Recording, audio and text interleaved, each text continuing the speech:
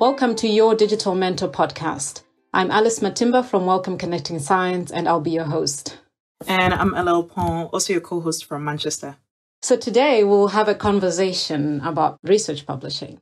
So we all know that publishing is the currency for research. It gets people promoted, it gets people jobs, and obviously impacts quite significantly on people's careers. So today we'll talk about how to publish, discuss some of the, you know, tricks and twists around publishing, and of course, some of the topical issues around publishing. So stay tuned. Um, so our guests are Seye and Orli, and I will now ask them to introduce themselves. I am Seye Abimbola. I am an academic at the University of Sydney in Australia, where I study health systems and study epistemic issues in global health. I'm also the current Prince Claus Chair in Equity and Development at Utrecht University and the editor in chief of BMJ Global Health. Thank you. And Orli?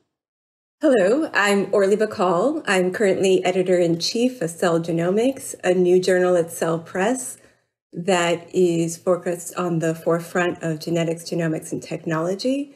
And it's unique in the field for being the first premier journal that's both open access and open science, which is something I'm very excited about. I've been an editor now nearly two decades. I started at Nature Genetics, Nature Reviews Genetics, and then was the genomics editor of Nature until I moved to Cell Press this past year. And before then, my background, my academic background was in genomics and epidemiology. Wow, thank you.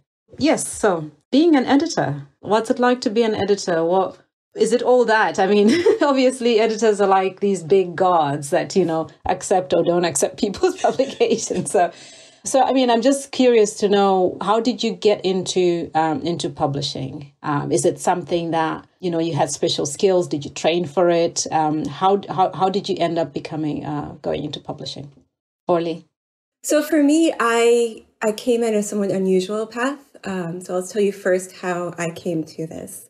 I grew up in an academic family. My parents are both professors at Princeton in astrophysics. My brothers are, are both PhDs in state and science. And I grew up knowing that I was going to be a scientist. I love the scientific method. I love the scientific exploration. I also love the academic lifestyle that I grew up in. So I really always envisioned that life for myself as well.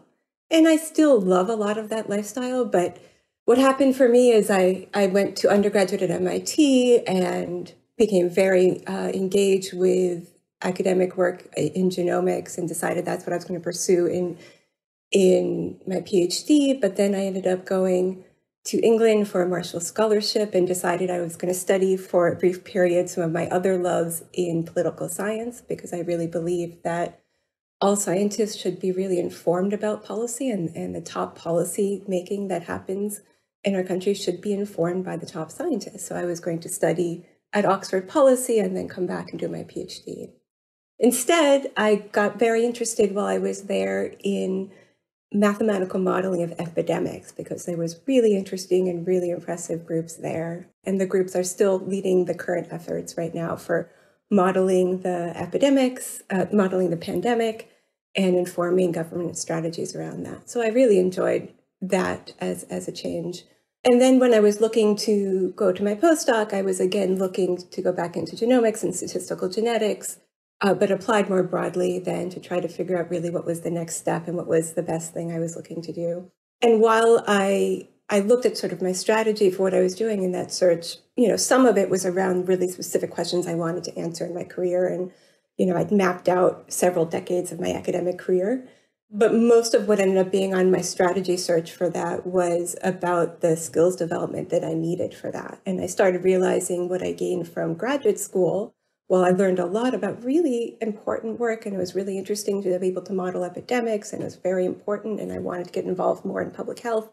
You know, I felt like I was still underdeveloped in a lot of areas that would be really important in my academic career. And I was trying to figure out where I, can I get that sort of skills development. So I applied more broadly at things that were interesting, and that's how I came upon this editor job because uh, while I was preparing for postdoc interviews, I was reading all the papers in Nature Genetics, which published all the top papers in the field. And um, saw an ad for an assistant editor in Nature Genetics. So I applied for that, really without knowing what an editor did or what the job entailed.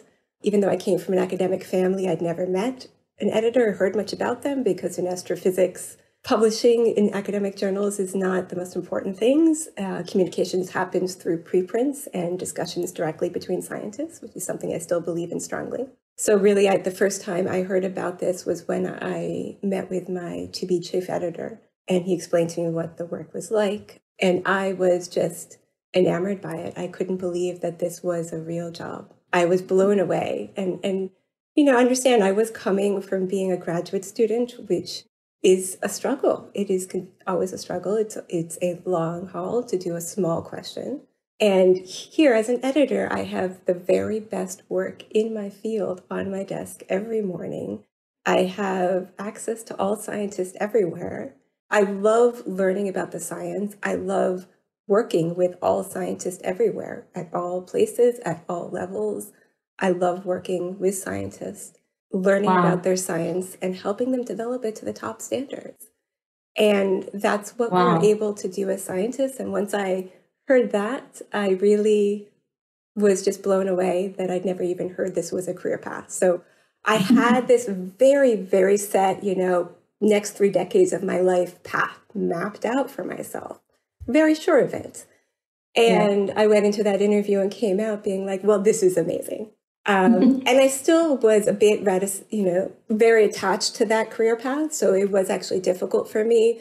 When I had my first job offer, I went back to my chief editor and said, I'm, I'm unsure. I'm not ready to give up on my academic path because I spent my whole life at that time preparing for it. So what I asked him was that can I do maybe two years as an alternate postdoc to have this training? Because when I look back at what my strategy was for the search was really to get that training development. And what was amazing is really almost everything on my list of, of personal and professional training that I was looking for were something I was going to get as being an editor. Well, yeah, it seems like you've really, really enjoying yourself, and I think um, you know you're in the right place, which is great. And like you said, you know, we all sometimes. I mean, I feel the same way that I feel like I never really planned for this career path, and it's just exactly what I'm doing, and I'm enjoying it.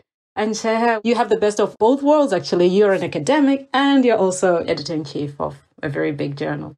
Yes, I, I feel as though my my path was a bit more predictable as a medical student, the big medical schools in Nigeria have student run academic journals. And okay. I joined the editorial board of that journal in my third of six years in medical school. So it's a kind of thing where you sort of get into kind of prestigious kind of little thing. But what it did was also open my eyes to the broader global publishing landscape. So I started to write for the student BMJ, I think in my year four. And in my final year, I won something called the BMJ Clegg Scholarship, where they get medical students from around the world to come and spend two months at the BMJ offices in London and pretty much learn how to put a journal together. I went as a final year medical student into the offices of the BMJ, and I, w- I was completely enamored by, by the entire machinery of, of journal production it was designed such that you didn't necessarily have a task. You just picked on what interested you. Um, you sat on what's called the hanging committee. That hanging committee sounds like, like something very macabre, you know, but but it's it's a word from uh, I think it's the London or British Gallery um, who decides which painting gets hung on, on the wall. So so it was the meeting where editors made the final decision at the end of, on Thursday every week, which papers got published in the next week's edition of the journal. So, so again, sitting there, just having a good sense of how decisions are made, how journals are put together, how articles are written, especially non-research articles, how journalists within the BMJ worked as well. So just that entire environment uh, got me really interested in academic publishing. But then I finished medical school. I went into public health, did a master's, did a PhD. Well, was doing a PhD when the BMJ, my, my boss, my supervisor when I was at the BMJ as a Clegg scholar reached out to me and said, you know, we're thinking of having a global health journal. Um, I, and I hadn't figured out that this was almost an interview. um, c- can you tell us what, what it should look like? So I sort of of course, I've, I've been encouraging the BMJ to have a global health journal for, for a long time because I felt that they could, there, there was a huge space in the field for, for such a journal. And then I sort of supplied what I my thoughts were, and I had lots of thoughts about what a global health journal should be, and, and, and I, I have strong feelings about what was lacking in the field. And a few months down the line, I was asked, "Will you want to be the editor in chief?" And I was I was in the second year of my PhD, and I said, "Of course, of course." But that meant I had to finish my PhD very quickly, so I finished my PhD in sort of four months. Like I had to wrap it up and and get to this thing. Uh, but also, I I combined that with with a full time role as an academic, which has its own benefits as well, because I think it allows me to see and understand what academics want, their fears and, and insecurities, uh, and, and their challenges and concerns about how publishing works on the other side.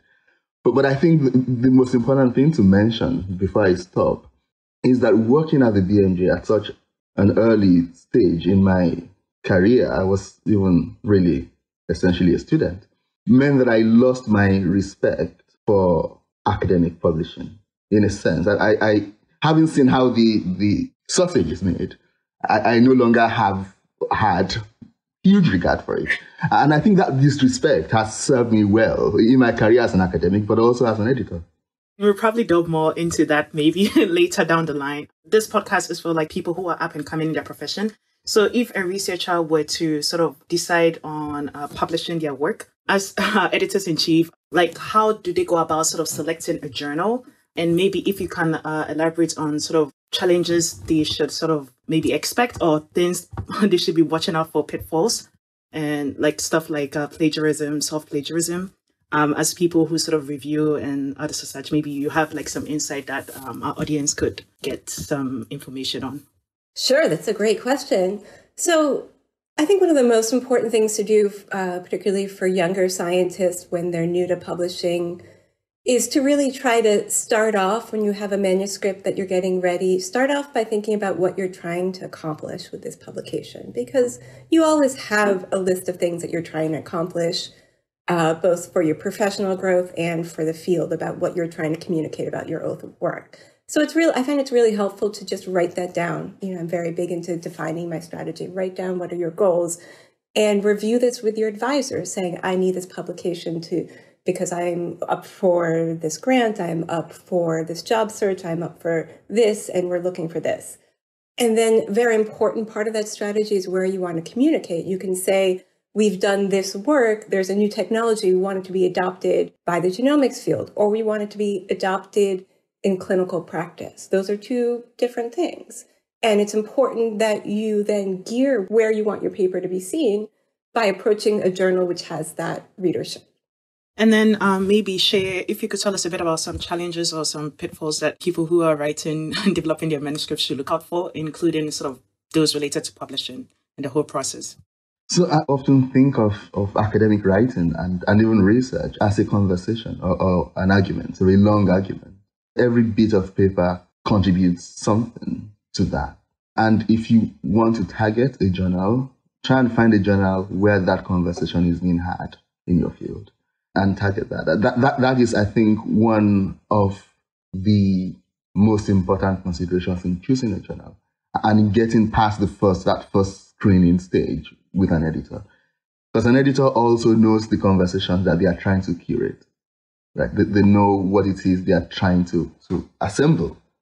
So, so that, that is one, one important thing about publishing. Know, know where the conversation you are trying to be part of is being had and get yourself in there. The second thing is ticking all the boxes, making sure that all the rules are fulfilled. What goes in introduction goes there, what goes in methods goes there appropriately, etc. So make sure that you tick all those boxes. Because as, as an editor, one of the things that you, one of the ways in which you look at a paper is with a, with a healthy dose of skepticism. Does this person know what they're doing?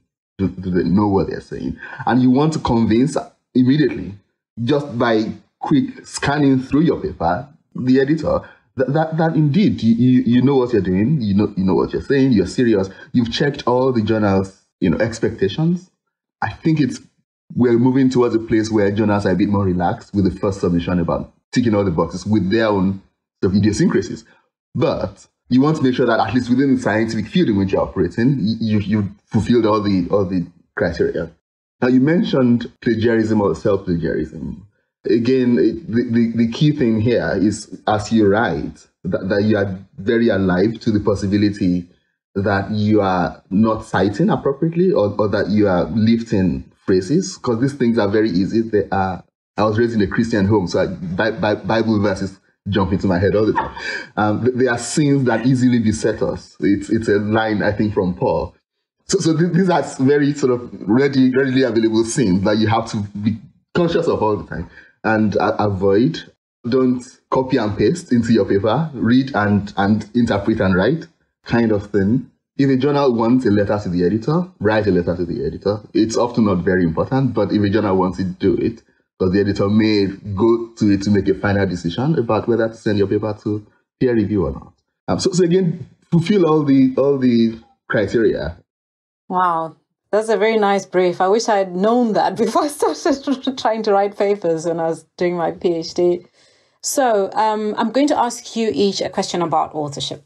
The first question is to Ollie. So first, what is authorship? And secondly, what are your thoughts around putting people's names on papers, like big names, because then they'll get, you know, this increases the chance of them getting published and that kind of practice that we know is happening a lot of the times which may be good or bad, but I, I just want to hear what your thoughts are on that. I think that's a great question, and it's it's a very important and a very important issue in in the broader scientific field, and something that's really changing. Uh, what it means to be an author of a scientific paper has changed quite a bit over the past couple decades. Uh, we are seeing a vast increase in the number of papers in individual publications, and some of that is for good reason. So I'll just sort of separate that the parts that are very good reasons and the part that as an editor I very much want to support is because the nature of how we do science has shifted.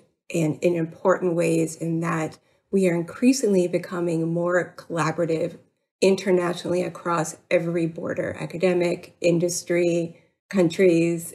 You know we need to cross all borders and disciplines to be able to do the sort of work that we need to do to really transform science to transform medicine We've seen that this past year with the pandemic as the perfect example.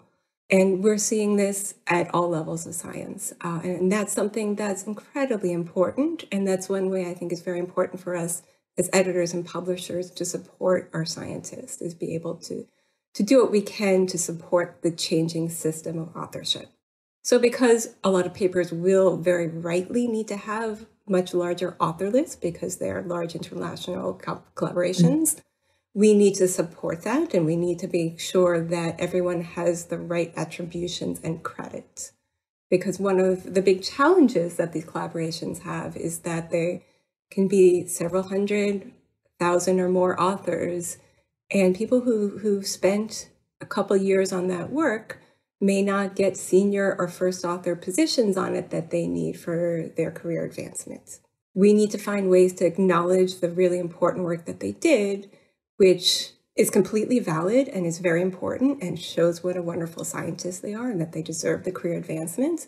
But if, if they are not given that kind of encouragement, there will be continuing disincentive for them to be team scientists, right? And then we wouldn't have people stepping up to help fight the pandemic the way we've seen in the past year. If everyone was focused on their personal academic progression, mm-hmm. we would not have seen the response that we did. Uh, so we are working ways to give individual authors and team scientists the kind of recognition and credit that they deserve in these big author papers. That's great. I guess a lot of changes. It's a time of change, and I think it's good that you know publishers are also seeing how to support the changes and the big authorship papers that are out there. And you know, my, my question about authorship to Shaya is about uh, something just I read recently. Actually, I think it maybe two weeks ago. So your journal, BMJ Global Health, um, is famous for publishing all sorts of really topical, contentious issues. the recent one is the one on authorship parasitism by Chris Rees, uh, I think, with where Global North, authors who are based in Global North who publish on activities or research in Global South, but do not include anyone from the Global South. Is this something you feel is a real concern and how can it be addressed? Yes, it is a real concern. But I think it's a real concern uh, in, two, in two ways that I think are very important. The first is that it is an equity concern that it is possible to go into a country and do research and get out and publish without crediting anyone in the country or without involving anyone in the country or, or with very minimal involvement and credit to people in the country. The second concern is an interpretive one, which is that it is very likely that if you go into a country and you conduct research without involving anyone in, in any substantial way, that you will come out with mistaken analysis or wrong interpretations of what you thought you found. So, so there are two sets of concerns here. One, one is absolutely scientific in terms of interpretation of, of your analysis and what you found. The other is just being a decent human being uh, and being respectful. um, and I think this, these two are, are important um, concerns that, that require action from journals, but also from universities and from funders. Because I think part of this is the norms that govern scientific publishing or, or academic life broadly that there are, in many ways, these norms, as Oli was talking about, you know, that, that there are the places where you want to have your name on, on a paper or the ways in which you are promoted at, a, at an institution that sometimes are an obstacle to being a decent human being. And I think the, the task here is, of course, there is the agency of the individual in, in trying to make the most of a difficult situation, but there's also the structure that constrains people to do, you know, bad things. And, and we have to focus on action at all those stages. How do universities set their promotion criteria for a field? Should it be such that they actually incentivize academics to be collaborative, to recognize others, to work in teams, to share first authorship or to share credit in, in, in particular ways? We could also focus on funders. Um, you know, how do funders themselves incentivize the system? There was 30, 40 years ago, a huge shift in animal research, right? um, the, the, ways in which animals are used in research. And one of the people who, one of the entities that were involved in that was, was funders. We, we don't want to be seen funding these things that are problematic. So, you know, we also have to find a way of making funders completely averse to funding work that is parachute research, right? Or oh, that's inequitable in any way universities fund individual researchers, and especially journals. Journals, I think, collectively have a huge role to play. How do they allow, for example, multiple first authorship, multiple last authorship? How do they collectively, for example, say we won't publish your work if it's if it has any hint of parachute research? You know, action at all these levels can change the ecosystem and change the norms. It, it's a question of norms for the most part, and you know, I, I believe that this can change, and they've changed in the past. Yeah, I think, uh, uh, Shay, you provide sort of a perfect segue into our next question, which is um, sort of barriers facing um, sort of authors. Oh, Orli, yes. Um, you wanted to add something? Yes, please. Because that's such a wonderful topic, and you you expressed mm-hmm. um, that so eloquently, and I think that was really I agree with with everything you said. I just want to add, I think for you know this notion of helicopter research is something that's super important uh, across the scientific field, and something we're all very passionate about you know, we work really hard to see what we can do to address that. The important thing to remember is that by the time it gets to my desk as a first submission of a publication to a journal, it's really too late. What I can do is reject the paper because I think it's inappropriate. And and I will, and I will tell the authors this is inappropriate. But by the time they've written up a manuscript, it's too late and it's inappropriate for them to submit a manuscript without really engaging all the people mm-hmm. and populations where the research was based. And so, what we really promote and we're trying to work for is making sure that everyone understands they need to address this from the very beginning of the study, saying who is involved, where is this research done, how can we get them involved from the very beginning of our study before we even start any analysis. And then it'll be mm-hmm. second nature by the time you're ready to write up a paper. Of course, their authors, they've been working with you for several years on this. And so, really, that's what we're trying to promote. And you're right, funders have a strong role in this, but really, mm-hmm. it's pushing to make sure that everyone understands this is essential to do at the time you're starting, when you're first reaching out to get samples, when you're first reaching out to start collaboration. That's when you have that conversation. Yeah, definitely. Sort of like dig it to the roots before the symptoms sort of like, you know, yeah. If a researcher is working on a manuscript, there are a lot of barriers that they face, not just sort of after the funding has come in and you're working on it, um, limitations associated with uh, language, sort of publishing in English, um, limitations with time, writing skills, being a female in the publication space. So, um, what advice can you give to researchers who may face some of um, these barriers as sort of people who review their manuscripts? And yeah, do you have any advice for them? Or even sharing your thoughts about all of this? Maybe you have a, an insight that they could um, learn from. Yeah, so, so, so this, there's a lot going on here. The problem of language and the, the elitism that comes with, with academic, the academic life itself. It's, it's a, I often say to my fellow academics that, that you may not know it, but, but you have a lot of power and a lot of privilege just, just by being in this space.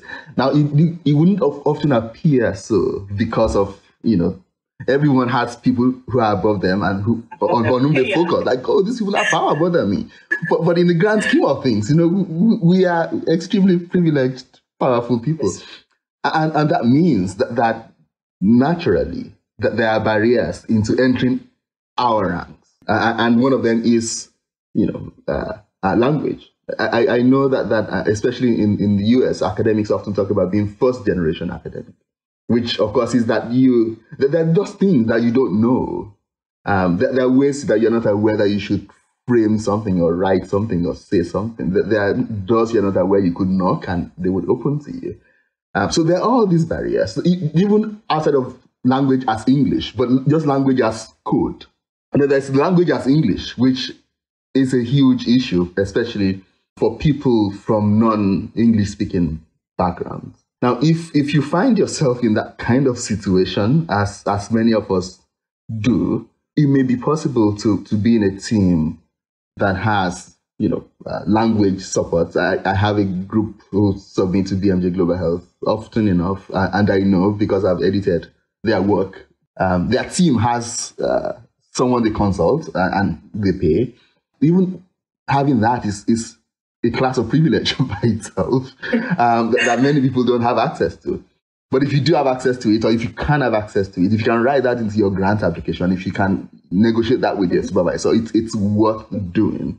The, the other thing is that, that that in itself is a process of learning. Um, you, you, you also get, then get to learn what it looks like so that you don't need that always or all the time or forever. There's very little journals can do, um, apart from some journals that sort of have in-house or, or a business on the side where, where there's sort of English language editing, etc. kind of stuff. Some journals have that. But again, that is costly. It costs you something. It's, these things are not cheap or free. So it, it is a barrier. It's a barrier that I'm not sure I know exactly how to get around, but, but it's important to recognize the role it plays in, in our ecosystem. I'm curious about the publication phase as a barrier and wonder what Orli thinks about. Maybe we'll come back to that, but I think it's also part of the barriers that um, people face. Yes, absolutely. I think that's a really important one, particularly as we're talking about the growth of open access and publications and how important it is. We both have open access journals, and that's something I'm very passionate about. That the research that we're publishing is so important and fundamental for transforming our society, transforming medicine, that it's really, uh, at this time, it's just not appropriate for that to be behind a publication barrier. And that means it's just switching the business model because these are publishers are businesses. It's switching that from you pay for libraries paying for subscription, which is how it's traditionally done, to an author pays a fee. So either way, someone needs to pay for the work that goes through in making this happen, just as you would uh, for newspaper. Uh, but that is a barrier for a lot of authors. And as a publisher, we do recognize that and we try to work to make sure that every author is able to work with that. So anyone who's from an, uh, a place where they don't have grant support for the article charges, we work to waive that or find them other ways to, to provide support from other, whether it's a funder or a foundation who may be able to help them support it. So we want to make sure that everyone is able to do that. And we do that blinded so that it has absolutely no influence on our decision of whether we publish it. I don't need to know it's really going to be done at another level of how can we get you the support you need to make sure this is published open access and it is supported by your grants. You know, yesterday I was reading this the article about the long history of commercial publishing. and this sort of like big publishers, big profits. But I mean, of course, it's it's it's again one of those topics that's uh, that's it's quite interesting. So you know, because it it does concern a lot of researchers, particularly even even researchers who are in say high income countries and they you know they're trying to access articles and they cost a lot of money it's not part of their institution and so forth. I think ella had a perfect example because she's doing uh, some research and she's yeah I, I just recently sort of worked with a team to publish an article and it was quite interesting that even getting because as scientists our work is to like you know we are curious we want to answer questions and we hope that sort of the responses that we get will then reach not just the science community or the scientific community, but those outside, you know, people who might benefit from it. And as scientists, you first sort of have to, you know, work on your work, spend a lot of time. Then after that, to get your work to the external community, you have to pay for it. If it's open access or if uh, and if the journal is subscription based, and maybe and like how long. There's so many sort of like conditions that sort of come with that. Then even still with that, if later if you're a scientist and you want to get work and maybe you're affiliated to a university or university your university does not have access to a particular journal, then you still have to pay for it. So, like, where is it? And even people, regular people, if they want to access it, how are they going to access it if they're not subscribed to a particular journal or it's not open access? Like, what is it? And there's a lot of research that shows that publication, uh, like big journals, actually get a lot of profit because we have sort of peer review that is on a voluntary basis. So then, what is the in between? What gap are we missing as scientists that maybe it's not visible? Like, what are we missing that maybe you all can elaborate on and maybe share also some advice on sort of this whole process? I think uh, I, as young scientists, we would really appreciate it to learn more about this whole process. In global health, there, there is, um, in, in, the last few years, there, there, there's a framing of a group of things called the commercial determinants of health. And in that framing, we're often thinking about big food, big pharma. We're thinking about alcohol industry, tobacco, etc. We're thinking about those kinds of products. And I've just, before joining you this morning, I just finished um, writing a, a, very short blog in which I, I, suggested that the academic publishing industry might be considered a commercial determinant.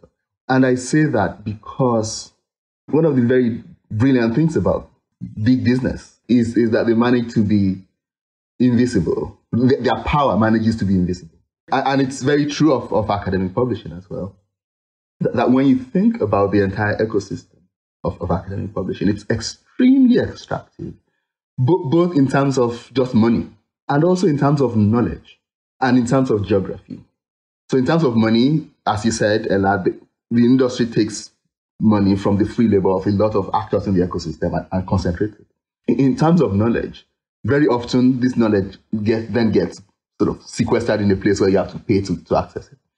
And in terms of geography, these journals are pretty much very, very global north, right? So they, they are high income country journals. And in, in many ways, they manage to so design the structure that they so gatekeep entry into academic publishing. That is very difficult for people trying to build and found new journals, especially in LMICs, to do so successfully. Now, I, I, did not appreciate how difficult it is to start a new journal, and I'm sure Orli has a lot of experience here. Um, until BMJ Global Health went through its sort of early phases, and I realized that if a bunch of academics in Nigeria wanted to start a new journal, they will almost certainly fail because there's this huge back end infrastructure that allows it to work. And that infrastructure is tied again to this humongous thing in many ways, we, we have to find a way to talk about this in the open more and more stridently. And we also have to collectively, because I, I, believe very strongly that, that we are all participants in, in this ecosystem, myself included. And, and, we can also choose to not be participants over time if we can act co- collectively. You know, I, I really wish if I was talking to a big funder and they want to ask me how to support the academic industry or ecosystem in LMICs, I say provide resources to start new journals and get those journals to a place where they can be quickly and readily recognized, just like BMJ Global Health was. The journal is less than six years old. Now, imagine the possibility of having the infrastructure to start a journal like BMJ Global Health. You know, on public health, two, three of them on the continent, it changes everything. And I don't think people appreciate enough how much change lowering the the the entry barriers could, could effect in, in, in the ecosystem with, with a lot of support. So, so I, I do honestly strongly believe that, that we can't, it, it's going to be difficult, if not impossible, to change what the Lancet does, or what the BMJ does, or what Elsevier does, or, or what Wiley does. What we can change is ensuring that there are other players in that in that ecosystem, just like PLOS did, you know, years ago, about two decades ago. Now, when they started the open access movement, it changed it changed the entire ecosystem. Other journals wouldn't have started it unless there was a new journal doing something new. And I believe that if we want to change the ecosystem, we have to find a way of lo- lowering the entry barrier, or at least facilitating entry for journals that want to do things differently.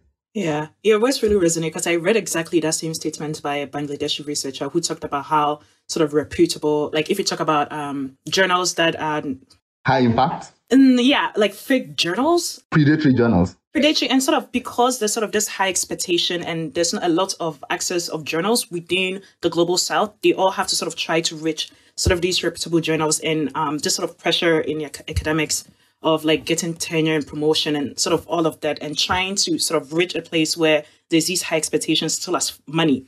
And um, he proposed exactly what you're saying, sort of invest in the global south with establishing of um, not only sort of journals, but also ones that sort of have um, high standards so that then their names are also recognized. And we could also, people from the global south could also then publish their work and also have to struggle to um, reach these reputable journals. Yeah. So, just out of curiosity, so cell genomics, uh, Orli, what is the impact factor?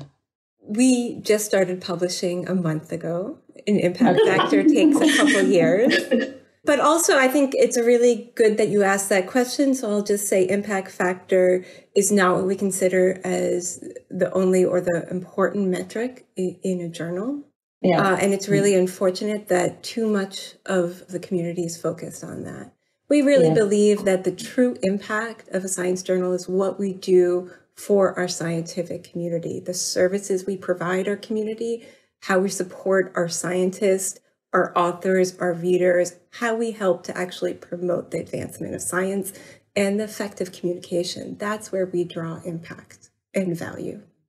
Yeah, I mean, I I've always been a bit not not not really skeptical, but I've always struggled with the whole idea of impact factor and how it's so important. And it is important, but I think what's important is can we get our work out there? Does it, you know, is it reviewed properly reviewed? Is it making uh, an impact? So I've never been a big fan of sort of like targeting high impact journals, but then again, maybe that's why I'm not in, you know, research anymore. yeah, so I, might be just a, a failure in the process. But anyway, you know, there's another elephant, big elephant in the room, which is the predatory journals. Why are there so many? There's so many of them. And how do you, how does one spot them and avoid them? I, I think the first thing to say is that we live in a capitalist world, and there's nothing we can do about that right now, or perhaps forever. And in, in, in a capitalist world, something emerges to supply what is demanded. In other words, entities fill a gap in the market. Now, the question we have to ask ourselves, and the question I ask myself a lot, is what role does the dominant academic publishing industry play in creating an ecosystem that allows these entities called predatory journals to flourish? Because they are, they are a feature of exclusion. We emerge to fill a gap by people for people who have been excluded from the system. Now, I, I completely take it that they are, you know, it's bad, right? And, and its practices are bad. But, but I'm not willing to just stop there. We created a situation that made that even possible in the first place. And we, as I discussed earlier, we have to recognize our role in, in, in, in, in fostering that ecosystem. That said, if you want to avoid predatory journals, a few pointers. Again, I recognize how deeply problematic even these pointers are. Right? if a few pointers um, will include are they in the recognized databases? For example, so if you want to submit to a journal, check, check if it's which database it's on. Again, getting into a database, it's, it's a way of gatekeeping itself. Uh, and that's emerging literature to show that that if, if you want to get into PubMed, for example, you, you need a lot of resources behind you to make that happen. It just doesn't happen because you, you are publishing, right? Um, so, so even getting there itself is, is a gatekeeping point and strategy that have been exploited by dominant players in the industry to keep people out. And even the label predatory, sorry, I keep going back to this, even the label predatory has been exploited by publishers, big publishers, to, to make sure that they get keep smaller publishers from getting in. So of course, be aware, of course, run away from publishing your work in predatory journals, but, but do so completely aware that, that, you are playing in a system that has been rigged in a particular way. And that the existence of these journals itself is, is, is, a, is a manifestation of, of that messed up state of affairs. Yeah, that's that's interesting. And Orli, do you have anything else to add on that? You know, I really agree that um, just the whole publishing industry is really in a time of change, and that transition that we're in is really important. It's a time for us to evaluate what we're really about, what kind of services we're providing to the scientific community. And like I said, I'm really here to help provide top services to our academics, uh, to not just academics, to scientists everywhere across any borders to help progress science and transform medicine. And I think that's what we need to focus on as publishers. And to do that, we are changing and transforming the whole industry, and that's important. I do think we'll continue to see these really important changes. These past uh, few years, past five years, we've seen really important changes in open access and open science publishing, which I've been involved with, which is why I'm now able to launch an open access open science journal, which I would not have been able to do years ago. And that's really one of the important changes, but I think we're going to continue to see really important shifts over the next decade of how we publish and, and what the industry looks like. And, and yeah. ju- just sorry, just in a futuristic mode, I, I allow myself to imagine that the current way in which you will think about scientific communication to write a paper with this structure is extremely old. You know, even the idea of a journal has survived for far too long. I mean, this, this thing has existed for, you know, a couple more centuries. It's one of those few things that have refused to change. And, and I think the transition from paper to online was a huge step. I still feel as though the academic publishing industry didn't make the most of it in terms of just transitioning how it sees itself. And I hope that, that further advances in technology will help the, the field get to a different place. I really love what Orli said uh, at the beginning that astrophysicists do not think of journals as the primary mode of communication so much. And I wonder what, what a world of scientific communication that does not center journals look like. And, and I think that world is possible, if not inevitable. Well, thank you. I think uh, we're almost um, rounding up with a just one last question and this is directed to Seye. So, you and others just recently published on promoting equitable authorship and research. And can you tell us just briefly why why it's important at this juncture to have such a guideline? What change do you envision and and and in fact, so what, what would be your measure of success? So what would you be looking to to to achieve uh, and by when?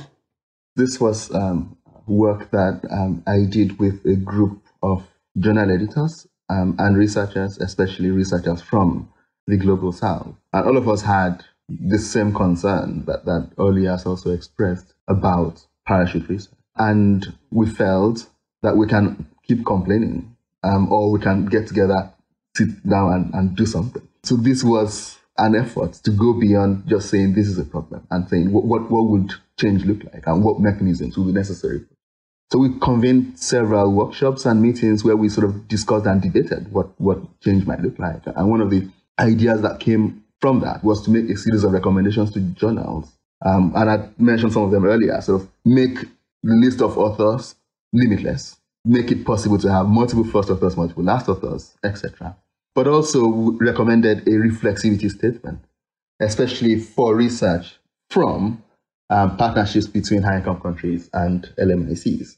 Um, and, and, this statement essentially asks of authors submitting manuscripts from such partnerships to, to describe briefly what went down in the partnership. You know, how, how was the research question decided? How was the method decided? How was local leadership taken into account in, in the in the work, but also in, in, in the article itself? How were issues of equity, whether it's early career researchers or women or other disadvantaged groups, taken into account in the in the putting together of the work and the manuscript? It's a series of questions, and, the goal, as as Orli said earlier, at the point of submission, is it's already too late. But if you know that, that you're going to have to talk about that at the point of submission, it changes your behavior.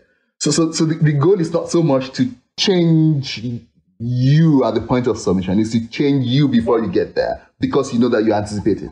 This was one of the ways in which ethics requirements were became a norm because you know that the journal will be afraid to publish your work without ethics clearance. So, so, so there are examples in, in the research ecosystem that show that if if someone is waiting for you at the at the point of publication, you, you are likely to change your behavior. Now, how do you measure this? I don't know.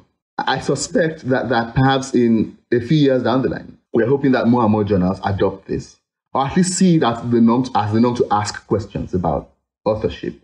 And again, just asking these questions changes behavior. And also, I've noticed increasingly, another another editor has said this to me, that reviewers are beginning to pick up on potential parachute research in their review comments to the authors or, or, or, confidentially to the editor. Again, for me, these are signs that the ecosystem itself is changing in terms of its norms. This, this is how norms, I, I keep talking about norms. This is how norms change. I can't police a partnership. No one can police a partnership who is outside of it. But, but, but the norms can change in such a way that it doesn't even need policing at all. And, and I think that if, if there's success, if there's a mark of success, it is to see these norms shift in the field. And, and you can only observe that by changing behavior of authors, of funders, of individual researchers, um, of journals. So, so that, that for me, that, that's the goal. The goal is to shift the norms and, and to observe that in, in, how behaviors change. Thank you. Orli, do you have anything else to add to that? I agree. I think that was beautifully eloquently said. I think we're we're really all focused on working at that early stage to see what we can do to ensure that everyone is involved equally and equitably in the research and that everyone equitably is able to benefit from the products of the research as well. Yeah. Well, well, this has been a very exciting discussion. So we've almost reaching the end of our discussion. Before we uh, wrap up, um, I just want to hear from you if you have maybe just one message to our audiences, just a few words that uh, you'd like to share with our audiences, one tip perhaps, or just one wise, you know, some wise words for our audiences. We'll start with Seye. Yeah, I, I think because this this uh, audience an audience of I think primarily sort of youngish academics, I, I think um, I'll go back to where I started that, that a healthy dose of disrespect for, for the for the process is could be very useful. Just knowing that you could push, that you could make demands, that you could say things the way you see it, um, and, and, knowing that editors are human beings, you know, reviewers are human beings, and, and they, they get convinced by arguments, um, by also by you know strong positions. Uh, it could be very useful, just broadly in your career as it starts, but also in, into the future. Ha- having a bit of confidence and, and a bit of, of you know healthy disrespect is useful. Interesting. And from you, Orli, any well, a few wise words. so I'd say I I always encourage uh, young scientists, any scientist, really to understand. I just like to say that editors are here to help and work with scientists. Uh, I would encourage them to reach out to the editors of any journals that you're approaching. We try to be as available as we can. In normal times, we're at conferences meeting with as many people as we can. Now we're on Zoom and email meeting with as many people as we can. What I love about this job is that I do spend every day meeting with scientists talking about their work, and I love that. So I really do want to hear from scientists at any stage of the process if they want to talk about their work. If there's any way I can help them, even before, you know, often it's very far before they're ready to write up a manuscript, but they'll call me just to chat about their research, get some ideas about what directions they should take because you know we have a broad perspective we have broader network and connections we might have some ideas for develop the work or what the journal might be interested in or how they they should approach a question things they should look out for in something, uh, you know, like data access, how to approach that. So we're really here and we can be helpful resources to help guide your research and help guide you through publication process. And we do understand how tough the publication process is. I know I feel for everyone about how tough that's become. We want to help provide a good service. We want to help you through this. So do reach out and engage with your editor. Wow. And there you have it. Our mentors have spoken and reach out. You know, they're there for you, they're there to talk to you. Be confident, have healthy disrespect. Uh, and yeah, it will change your life. So I think uh, this has been a great session. So we've reached the end of our discussion. Uh, it's been wonderful, really wonderful to have you on our show today. And thank you very much for these interesting discussions and giving us, you know, all these tips for our audiences and also a chance to learn about how researchers can approach publishing and how they how the publishing world works. You know, it was, I think it's just a, you know, just the, on the top surface, I'm sure there's a whole lot more, but it was just really interesting to know a little bit more about how the publishing world works. Could you please share with our listeners where we can find you on Twitter or LinkedIn or other social media outlets? We'll start with Orli. You can find me on Twitter. My handle is OBahcall and on LinkedIn as well. Isaiah? Yeah, you can find me on Twitter. I'm, I'm there very, very often. Um, my uh, handle there is at Seye Abimbola, my full name. And I'm also on LinkedIn, but I'm hardly ever there. My name there is also Seye Abimbola. Thank you. And for our listeners, thanks for tuning in. Please follow us on Twitter at mentor underscore podcast, where we'll let you know when new episodes are released. Uh, you can listen to us on YouTube, Spotify, Apple Podcasts, Google Podcasts, and SoundCloud just by searching for Your Digital Mentor Podcast. You can also reach us by email. Uh, so please send your comments and questions to inquiries at yourdigimentor.net. And as always, uh, information on the episode and how to reach us will be on the description box, including how to connect with our guests and also links to more information and resources. And finally, our goal is for this podcast to be shared as a resource so please remember to tell people about us. So thanks once again. And, and see, see you in two weeks.